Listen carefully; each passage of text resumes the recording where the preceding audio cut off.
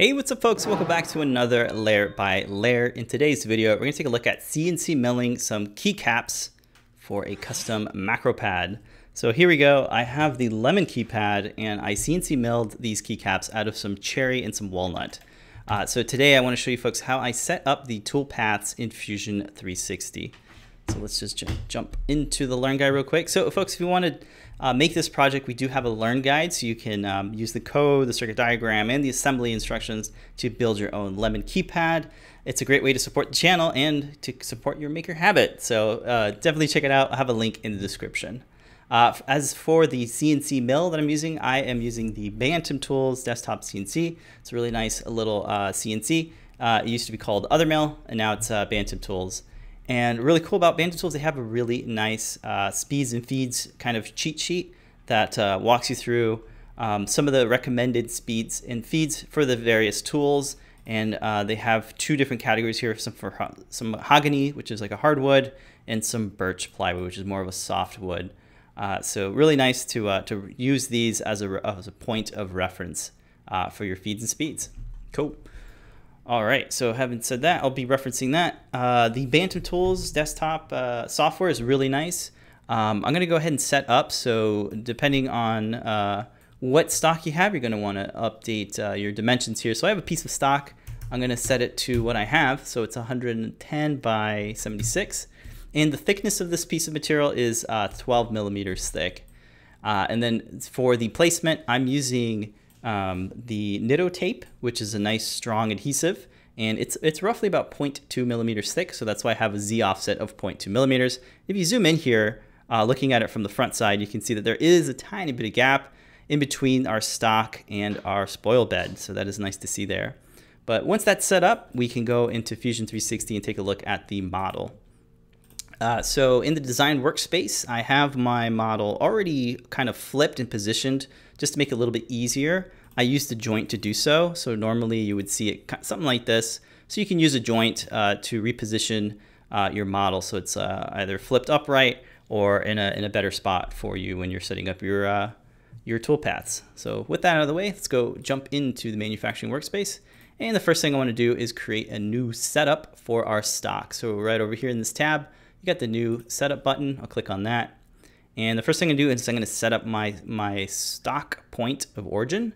And for the Bantam tools, uh, going back over to it, you'll see that it's actually at the lower left corner here. So the lower left corner is where we wanna set it. And you wanna pick the top of the stock here. The top of the stock is that little dot there, and that's where we want it. Under the stock tab, this is where we can apply we can change the mode from relative size because right now it's just a relative size. I'm going to change this to the fixed size because we do have a fixed piece of stock that has a very specific uh, dimensions. Uh, so it was 110 by 76 and the thickness of it was uh, 12. Right, so you'll see here that our stock is by default kind of the model position is set to the middle. We want to change that uh, so that it's in the lower left corner. So I have three of these uh, uh, drop downs here that I need to update. So the model position for the X, I'll set that to negative X. And then for the Y, I'll do negative Y. And then for the Z, I'll do negative Z. Uh, so to kind of clear this out, um, for the X side, for the X axis, I'll put zero. But if you look here, it's it's kind of really, really close. I kind of want a safe zone. So I'm going to add a little bit of offset here. So I'm going to change this to two. And I'll do the same for the Y. I'll change that to 2. So that will uh, push our model all the way to the lower uh, left corner uh, like we need. And then if we look at it from the front, you notice it's still in the center. And that's because that offset's built in there. So I'm going to remove that offset, clear that out. And now we have our model. The bottom of our model is now the bottom of our stock. So that is how we want to set it up. And then looking at it here, you can see you can get a good idea of how many you can lay out in this given piece of stock. So I was able to fit uh, three by three, so a total of six keycaps, which is exactly what I need for uh, for this lemon pad, right? So this is a good idea, uh, a good reference point to see uh, how many things you can lay out here. So that's why I have a fixed size box here for my model, for my stock. So that's pretty much it. I'm gonna hit okay. And the next thing we need to do is to figure out, all right, so we know we have a good amount of material that we need to kind of shave off in order to get to the thickness of our model. So what I ended up doing was making a face. So I'm gonna click on the face thing here. And this is going to really uh, face our entire piece of material to the desired thickness that we want because I want to make multiple keycaps on this piece of stock. So I need to change the tool. So over here under select tool, uh, the Bantam Tools has a nice um, JSON file that has a library of all of their tools. So you can get all their tools that are kind of stock and is a really good way to kind of get going. So you can just download that from their website, import it in here, and then there you go. You have all your, your tools. So um, for the Bantam tools, the biggest tool that I can do here that fits this part is the 1 8 inch flat end mill. That's this one here.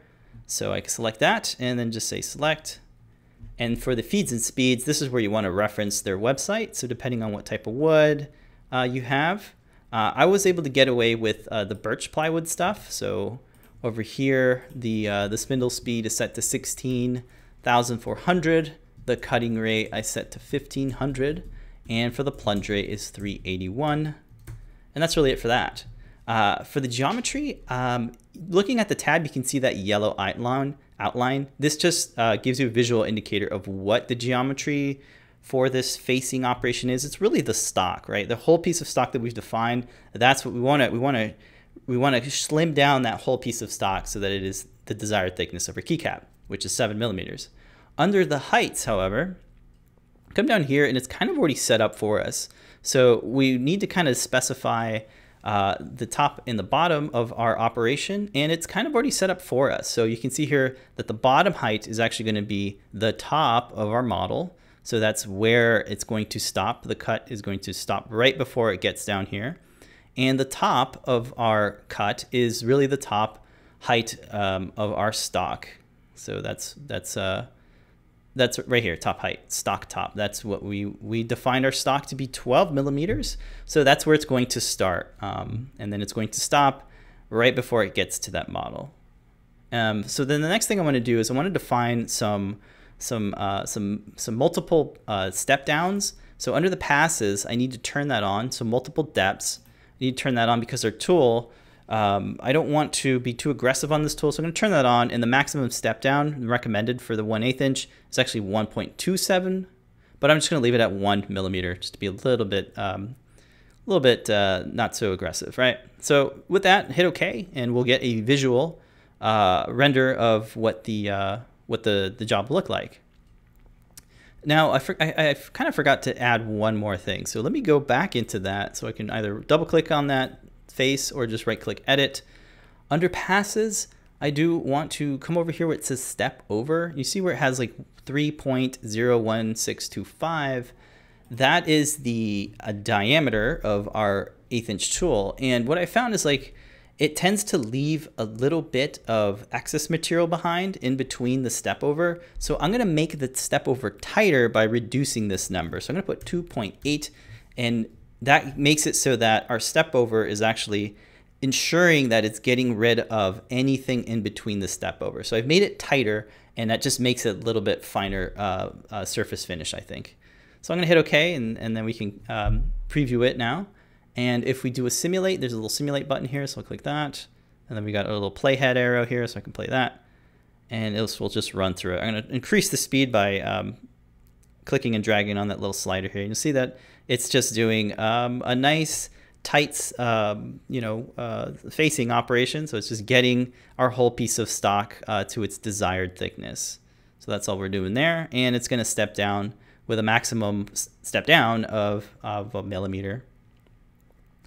So that's really all we're doing here in this operation. We're just setting up our material to get to the desired thickness because we really want to do multiple keycaps across this piece of material. And here we can start to see our our model, kind of the top of our model shine through there. All right, so I'll hit close. And the next thing I want to do is I'm going to apply a 3D adaptive. So I'm going to click 3D adaptive. By default, my 1 8 inch, or the last tool that was selected, is selected here. You could click on select again just to verify. Uh, that's the 1 8 inch. Yes, that's what I want. Hit OK. Um, and then under geometry, I'm not going to select anything just yet. For the height, I am going to change something here. Um, we need to specify the top height. The top height of our cut is now not the stock, but the model because we've already we've already faced our material. So now we can tell this adaptive uh, this adaptive clearing that hey, you need to start right at the top here of our model. And the bottom here, bottom height is still our bottom model, so that's set up fine. Under the passes, I'll go ahead and turn off stock to leave because we want to we want to get to all the stock. And I want to change the maximum roughing step down or the maximum step down from 10 and bring it back down to 1. So with that, I'm just going to hit OK, and this is going to give you a visual uh, of what the adaptive clearing is doing, right? it's basically going to mill out everything from the stock except our model. So what this is doing is, is, it's it's looking at the model and it's comparing it to the stock and it's kind of really eating away at all of the stock, which isn't really a good thing that we want for this specific piece of stock. So if we want to make multiple um, versions, multiple cutouts using this piece of stock, we need to define some boundaries. So I'm going to right click on the adaptive, hit edit, and under geometry, there's a little drop down here under the machining boundary. I'm going to switch that from none to selection. And then for the selection, I'm going to come down here and select the inside wall or the inside of this shell here of the keycap. So I'm going to select that. You get a green outline signifying where it is. And then for the tool containment, I'm going to change that from tool outside to the inside because all we're doing here is we're telling, hey, I just want you to focus on all of the geometry that's inside of this selection, right? That's really all we need to do. So I'll hit OK. And now Fusion's going to recalculate and figure out how many, uh, what's the right path to do um, for that given um, boundary. And you can see here that it has automatically figured out that there is some geometry in the center of this, and it is avoiding that geometry. And it's cutting right where that geometry needs to be. And this is the stem, right? And you take a note that the stem, the height of the stem isn't necessarily flush with the height of the keycap. They actually have different heights. So if you were to use something like a pocket, you wouldn't be able to do that. So that's where the adaptive clearing uh, works here. This is really kind of the best thing. But uh, having a, um, a machining boundary is uh, optimizes so it's just focusing on um, the stuff on the inside of the keycap. So that's, that's why I have that set up here. So now with that, I'm going to need to figure out, well, how do I cut out the shape? And because the shape is pretty simple, the outside of the shape, I can just get away with just a 2D contour. So 2D contour, um, I'll select that. Our 1 8 inch tool is what we want to use. And for the geometry, I'll just select the bottom outside of our keycap. And then for the heights, really all I need to change here is, again, the top height of this cut thinks that it's it's set to the stock, but I need to change that from the stock top to the model stop. So we just need to make that change there. And our bottom height is already set up as our selected contours that we did in the geometry tab. So in the passes tab, all we need to do here is enable ena enable multiple depths and change. Uh, actually, it's already set. It's already set up here. Our maximum roughing step down is one millimeter. Now, when I tried this, I ran into a little bit of an issue where there was there was so much um, uh, pressure being applied that it kind of just knocked my part off of the bed. Um, partly that, that could be because I didn't use enough tape, but I think uh, by reducing this to half of a millimeter, I'm reducing the amount of pressure that's being applied. So hopefully that is a little bit better here. So just making it so it's not so aggressive here. So half of a millimeter seems to work out fine for my multiple depths. So with that, I'll hit OK and then I can start to uh, simulate this or really just look at the preview here and you'll see that that's a pretty good clean cut. You can visually see how many times it's going to step down and that's really it. And then you can see that I have all of this extra um, untouched material here that's perfect for making uh, multiple keys, right? So then the last operation I need to set up is the kind of cavity for creating our little stem, our little cross thing here. So the best uh, operation for this one is just a 2D pocket. So I'll pull that out here under the drop down 2D pocket.